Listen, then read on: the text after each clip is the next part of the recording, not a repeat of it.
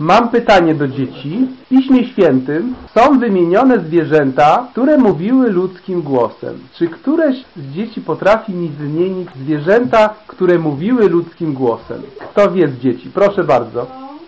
Wąż. Bardzo dobrze. Ja wiem. Kto? Osioł. Osioł. Osioł?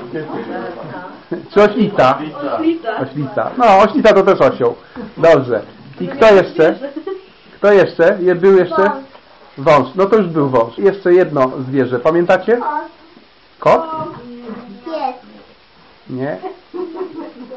No to jest trudne pytanie. Nawet starsi chyba nie wiedzą. Kto? Owieczka. Owieczka? Nie. No. W Apokalipsie smok ludzkim głosem? E, chyba nie. W Apokalipsie w ósmym rozdziale jest taki tekst. Zobaczcie. Trzynasty werset. I spojrzałem i usłyszałem, jak jeden orzeł lecący środkiem nieba wołał głosem donośnym. Biada, biada, biada mieszkańcom ziemi i tak dalej. Także orzeł też mówił ludzkim głosem, tak? Dobrze, czyli wszystko już wiemy. Chciałbym Wam opowiedzieć w takim razie historię o najsłynniejszym osiołku na świecie. Słuchacie mnie? Posłuchajcie. W Piśmie Świętym jest mowa o różnych osiołkach. Pismo Święte mówi o oślicy Bileama, która była mądrzejsza niż prorok, bo oślica Bileama widziała anioła i nie chciała iść, bo widziała, że ten anioł groźnie wyglądał i z mieczem w ręku stał, bo Bileam szedł złą drogą, a prorok, którego nazywano widzący, nic nie widział. I prorok tak tą oślicę próbował, żeby ona szła, a ona usiadła sobie i nie chciała nigdzie iść. I zaczął ją bić. I wtedy oślica przemówiła ludzkim głosem. Ale jest jeszcze jeden osiołek, który przeżył jeszcze ciekawszą historię. Któregoś razu na tego osiołka usiadł prorok. I ten prorok był nieposłuszny, dlatego że Pan Bóg mu zabraniał iść tą drogą i chodzić do jakiegokolwiek domu. Miał wrócić inną drogą niż przyszedł i nie wolno mu było zatrzymywać się w tej drodze. I przyszedł inny fałszywy prorok i powiedział, że Pan Bóg zmienił zdanie. I co się stało? I później zginął. I w tej historii jest napisane, że lew wybiegł, zabił proroka i nic nie zrobił temu osiołkowi. I tak sobie stali. I ludzie przechodzili patrzyli, co się stało. Lew nic nie robi os osłowi, a osioł się nie boi lwa. Najodważniejszy na świecie, czy co? Albo lew nagle stał się wegetarianinem. nic nie robi.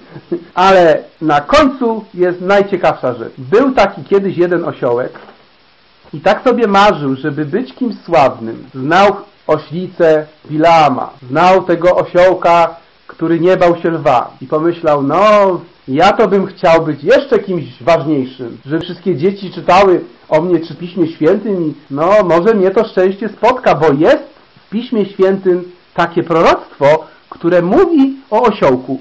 Może ja będę nim? I któregoś razu do zagrody osiołka przyszło dwóch obcych ludzi. A wiecie kto to był? To byli uczniowie Pana Jezusa. I. nie, uczniowie Pana Jezusa. I oni zaczęli odwiązywać osiołka. A tam był gospodarz, który wyprowadzał tego osiołka na łąkę. I mówi, a wy co tu? Co wy robicie z moim osiołkiem? I z moją oślicą? A wtedy oni powiedzieli jedno zdanie i wystarczyło. Pan ich potrzebuje. Osiołek usłyszał te słowa. Pan mnie potrzebuje. Pan Jezus nie potrzebuje. Jaki ja jestem ważny.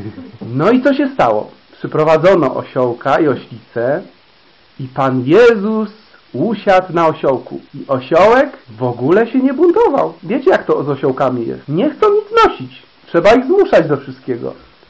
A Pan Jezus siedział na osiołku, a ten osiołek niósł Pana Jezusa prosto do Jerozolimy. I co się działo? I ludzie wołali Hosanna, Hosanna, rzucali płaszcze pod stopy osiołka. I osiołek szedł i sobie myślał, och, jak ja jestem teraz ważny.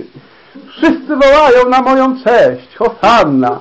Myślę, no taki mnie zaszczyt spotkał, nigdy bym nie pomyślał, że taką karierę zrobię. Tak, no ale później coś stało się bardzo przykrego, no bo y, osiołek ze swoją mamusią z powrotem trafili do, y, do swojego pierwszego właściciela. A co stało się z Panem Jezusem? Został w Jerozolimie, tak? Ale co zrobili Panu Jezusowi? Ukrzyżowano Pana Jezusa. I wtedy osiołek zrozumiał, kto tu jest najważniejszy, tak? Że to nie na jego cześć wołali, tylko na czyją cześć? Na Pana Boga. Na Pana Boga, na Jezusa Chrystusa wołano, tak? I dzisiaj jest wielu takich osiołków, którzy myślą, jaki to ja jestem ważny, bo ja niosę Pana Jezusa, tak? I Pan Bóg patrzy z nieba i mówi, oj osiołki, osiołki. A znacie proroctwo, które mówiło o tym osiołku? Gdzie ono jest zapisane? To przeczytajcie, proroka Zachariasza, tam jest mowa o tym właśnie osiołku. Tak, słynnym osiołku, najsłynniejszym na świecie. Tak, prorok Zachariasz w dziewiątym rozdziale napisał tak. Wesel się bardzo córko syjońska. 9-9. 9.9. Dziewiąty rozdział, dziewiąty werset. Wykrzykuj, córko jeruzalemska. Oto Twój król przychodzi do Ciebie. Sprawiedliwy On i zwycięstwo. Łagodny i jedzie na ośle, na oślęciu, źrebięciu oślicy. I o czym to proroctwo mówi? O kim? O Panu Jezusie, tak? A jest jeszcze jedno ciekawe proroctwo.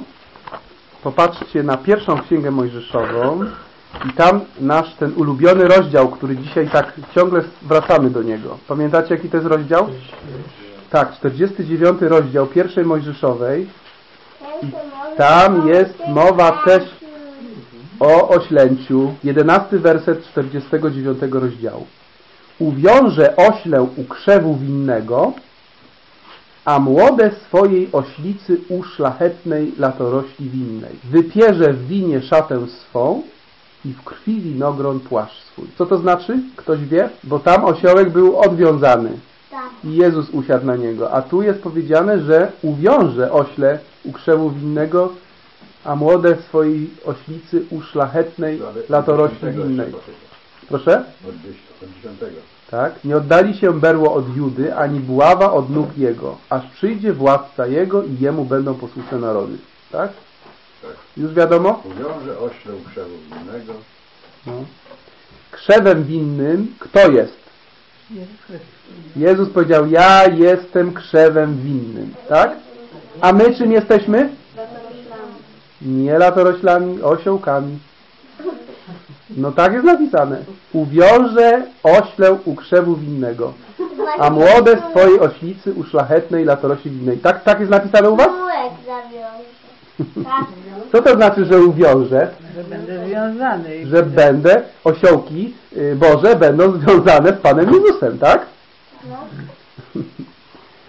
Czyli będą częścią Jego Królestwa, tak? A nasze grzechy, a nasze grzechy wypierzemy w krwi Krwi Pana tego, tego wino, winogrona. Tego Mhm. wino, winnej Także Pan Bóg robi ludziom niespodzianki, tak? Wielkich proroków poniża i czyni ich głupcami, a osiołków wywyższa i czyni ich potrzebnymi, tak? Pan ich potrzebuje.